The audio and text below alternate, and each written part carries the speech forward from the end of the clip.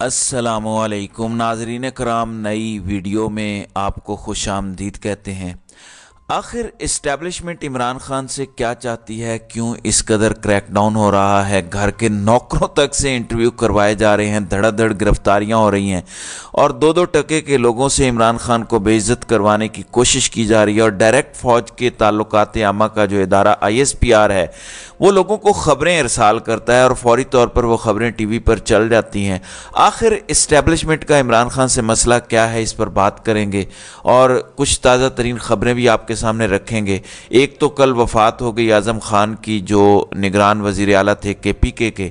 उनकी जगह अब नया वज़ी अला जस्टिस इरशाद को लिया गया है। इस वक्त के अपोजिशन लीडर और उस वक़्त के वज़ी अला महमूद ख़ान से मुशावरत करके उन्हें लाया गया तो पी टी आई ने महमूद ख़ान का नामजद करदा वज़ी अला मानने से इनकार किया है और कहा है कि महमूद ख़ान पार्टी छोड़ चुके हैं, अपनी नई जमात बना चुके हैं। वो अब जानबदार हैं, इसलिए हम उनका लाया हुआ वज़ी अला कबूल नहीं करेंगे।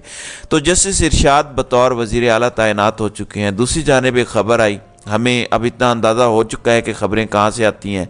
ख़बर आई एस पी आर की जानब से थी। मैं फ़ौर तमाम दीगर चैनल्स पर भी यही ख़बर देखने गया तो सब पे चल रही थी। हालाँकि अयाज सादिक और नून लीग का एक वफद सिंध से प्रेस कॉन्फ्रेंस कर रहा था तो प्रेस कॉन्फ्रेंस अचानक कट करके चैनलों ने यह खबर चलाना शुरू कर दी। खबर यह है कि मुबैना तौर पर फ़रा शहजादी, जिसे फ़रा गोगी भी कहते हैं उन्होंने एक मुबैना पासपोर्ट ख़रीदा, जाली पासपोर्ट, और मुबैना अपनी दौलत छुपाने के लिए मुबैना तौर पर पीटीआई चेयरमैन पीटीआई की अहलिया बुशरा बीबी के जो डॉलर या पैसे थे, उनको मनी लॉन्डर करके उस पासपोर्ट को उन्होंने इस्तेमाल किया और उसी पासपोर्ट पर उन्होंने मुबैना तौर पर सफ़र किया। अब जब सारी खबर ही मुबैना है, और शुक्र है कि मुबैना का लफज इस्तेमाल कर लिया, लेकिन अगर इतनी ही घटिया गिरी हुई खबर है कि आप हर चीज़ में मुबैना पासपोर्ट, मनी मुबैना मनी लॉन्ड्रिंग, मुबैना बुशरा बीबी की दौलत, मुबैना तौर पर एक प्रॉपर्टी प्रॉपर्टी टाइकोन ने वो पासपोर्ट ख़रीद कर दिया, यानी मलिक रियाज की जानब इशारा तो सब कुछ ही मुबैना है। एक भी चीज़ कन्फर्म नहीं है तो इस हद तक ये लोग चले गए हैं। अब ये क्यों हो रहा है? ये इसलिए हो रहा है कि फौरी तौर पर बुशरा बीबी को गिरफ़्तार करने का माहौल बनाया जा रहा है ग्राउंड सेट किया जा रहा है। कल जो अनसार अब्बासी की खबर थी, वो खबर नहीं, एक वार्निंग थी, धमकी थी कि हम बुशरा बीबी को गिरफ़्तार करने जा रहे हैं। आखिर इस्टेब्लिशमेंट ये सब क्यों कर रही है? बहुत से लोग सवाल करते हैं कि इस्टेब्लिशमेंट या फौज को नहीं पता चल रहा कि हम बदनाम हो रहे हैं। ये वो सवाल है जो हर जगह पूछा जाता है कि आखिर इमरान खान से इन्हें मसला क्या है? ये क्यों इस तरह कर रहे हैं? अब ये खुद भी इतने बदनाम हो चुके हैं तो इनको अपनी इज़्ज़त प्यारी नहीं है। इमरान शफकत जो एक सहाफ़ी हैं, जिन्हें पीटीवी पर भी भर्ती किया गया कि आपने नवाज़ शरीफ के लिए बयानिया बनाना है। ये क्या कहते हैं, ज़रा सुने। चार मिनट इंतज़ार करवाने के बाद खान साहब सीने में लुथड़े पिथड़े आए कोटन कोट जो मुझे बताया गया, बता रहा हूँ। आते उन्होंने कहा हाँ है, कमर क्या हाल है? हाथ मिलाओ। कमर साहब, ये तो अखा ताड़े लग गई है कि ये? पहले होता था जनरल साहब। देखे, जनरल कमर जवेद बाजवा साहब या जनरल साहब, है जी? कमर क्या हाल है, कमर है हाथ मिलाया गया एंज हाथ किया अब वो यू टू एंड सिटी नहीं बजती टा फोर अलार्म बज चुके जी नाजरीन कराम आपने सुना, अब इमरान खान को पता था कि कमर जावेद बाजवा मेरे मतहत हैं और मैं उनका बॉस हूँ। तो वो कहते हैं कि जब वो इमरान खान के पास गए तो इमरान खान ने कमर बाजवा का जो कि उनको सुनने की आदत नहीं थी, उनको तो सर सर सुनने की आदत थी। ये वैसे कोई क्रेडिबल रीज़न नहीं है, गो, ये भी एक इशू हो सकता है, क्योंकि ये लोग खुद को मालिक के कुल समझते हैं। तो इनको तकलीफ़ होती है, इसमें कोई शक नहीं, ये अपनी प्रॉपर्टीज़ बना लें, अरबों खरबों की चीज़ें बना लें, पूरी दुनिया में अपार्टमेंट्स ख़रीद लें। उस पर बात करें तो आपको उठा लिया जाता है, वो गद्दारी हो जाती है, वो ज़्यादती हो जाती है, और आपको जीने का भी हक नहीं। नहीं होता फिर। लेकिन इनको लाइसेंस है बेशक लोगों को उठाएँ, लोगों को मारें, लोगों को अगवा करें, मगर इन्हें कोई कुछ कहने वाला नहीं है। लेकिन अब की बार जब इतने बड़े लेवल पर क्रैकडाउन और इतने बड़े लेवल पर इस्टेब्लिशमेंट चली गई है, एक तरफ़ पूरा मुल्क खड़ा है, पूरी कौम मुसलसल इमरान खान की हिमायत का ऐलान कर रही है, सबूत दे रही है कि वो इमरान खान के साथ है। दूसरी तरफ़ इस्टेब्लिशमेंट खड़ी है, इतनी बदनामी के बावजूद क्यों खड़ी है? तो साहबजादा हामिद रज़ा ने गुफ्तगु की है कि इस दफ़ा इस्टेब्लिशमेंट की मजबूरी बहुत बड़ी है। जब आप ये सुन लेंगे तो आपको समझ आ जाएगी कि आखिर इस्टेब्लिशमेंट का मसला क्या है, मजबूरी क्या है, ये ज़रा सुने। इमरान खान का इशू फौज का इशू नहीं है।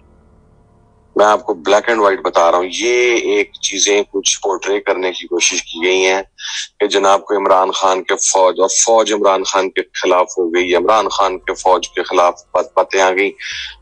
ये एग्जैक्ट सिचुएशन नहीं है। इमरान खान इंटरनेशनल कंस्पिरेसी का शिकार हुआ है।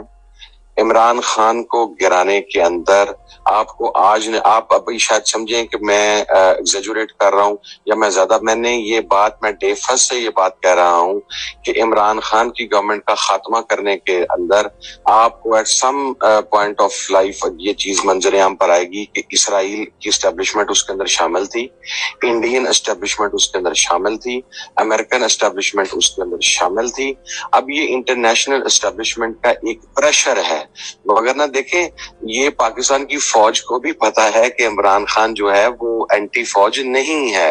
मैं let me be very clear on this ठीक है? ये जो बाजुकात कुछ लोग जो हैं जिनको बहुत सारी चीज़ों का इदराक नहीं है बहुत सारी इंटरनल इंफॉर्मेशन नहीं है वो शायद ऐसी बातें करते हैं लेकिन इमरान खान के हवाले से इंटरनेशनल कंस्पिरेसी और इंटरनेशनल प्रेशर इतना ज़्यादा है एक बंदा जो एक मुल्क को आ, मकसद है मोहताजी से निकाल कर तो खुददारी की तरफ़ लेके जा रहा है वो बंदा यानी खड़ा होकर इंटरनेशनल इश्यूज़ के ऊपर बात करना शुरू हो गया। And again I mean he he gets the limelight wherever he goes that's the basic problem for all these countries और इसराइल को जी, आपने सुन लिया, अब आपको पता चल चल गया होगा कि इसराइल के दौरे कौन करवाता रहा है, लंदन के अंदर इसराइलियों के साथ मुलाकात कौन करता रहा है, भारतीयों के साथ कौन मुलाकात करता है, अफगानियों के साथ कौन मुलाकात करता है? इसकी अगर डेप्थ में आप जाएँगे तो आपको पता चल जाएगा कि नवाज़ शरीफ किन का मोरा है और इस्टेब्लिशमेंट की क्या मजबूरी है, वो कितने मजबूर हैं और किस तरह से ये इलीट अपने आकाओं की ख्वाहिशात की तकमील के लिए अपने ही मुल्क को बर्बाद कर रही है। दूसरी जानब, नवाज़ शरीफ ने जो 40 लोगों की एक कमेटी बनाई है कि नया बयानिया देना है इलेक्शन के हवाले से, वो एक नया मंशूर बनाए, बयानिया बनाए।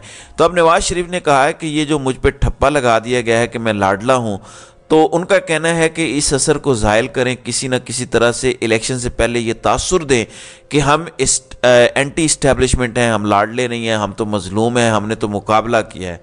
दूसरी जानब साल जाफिर की खबर है कि नवाज़ शरीफ के खिलाफ इस्लामाबाद हाई कोर्ट में जेर अल्तवा दो मुकदमात की अपीलों की फ़ाइलों को कोर्ट ऑफ़िस ने रेफरेंस करते हुए दोबारा तरतीब दे दिया है। इम्कान है कि कल पीर से शुरू होने वाले हफ़्ते के आखिर में एक के बाद एक अपीलों की समात की जाएगी। उम्मीद है कि यह समात तीन हफ्तों में मुकम्मल हो जाएगी। और लगता है कि इंतबी शेड्यूल आने से पहले नवाज़ शरीफ को ड्राई क्लीन कर दिया जाएगा, इनके केसेस ख़त्म कर दिए जाएँगे।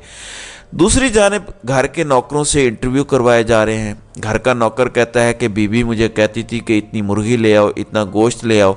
इनामुल्ला शाह, जो इमरान खान के घर का नौकर था, जिसका काम सौदा सलफ लाना था, उसके इंटरव्यू सलीम साफ़ी जैसे एक टाउट एक हद से गिरा हुआ जर्नलिस्ट मतलब कुछ भी, किसी मौसी को ले आओ, किसी मोची को ले आओ, किसी घर के स्वीपर को ले आओ और उसे कहो कि इंटरव्यू दे।